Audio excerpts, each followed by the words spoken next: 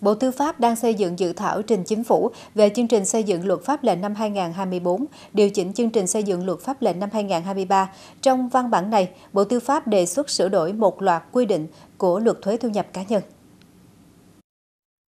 Bộ Tư pháp cho rằng nếu dự kiến đến 2026, luật thuế thu nhập cá nhân sửa đổi có hiệu lực thi hành thì cũng có thể nghiên cứu sửa đổi, nâng mức giảm trừ gia cảnh và cắt giảm hai bậc thuế trong tính thuế thu nhập cá nhân. Đề xuất này được nhiều chuyên gia đánh giá là phù hợp với những thay đổi về đời sống người dân trong thực tế.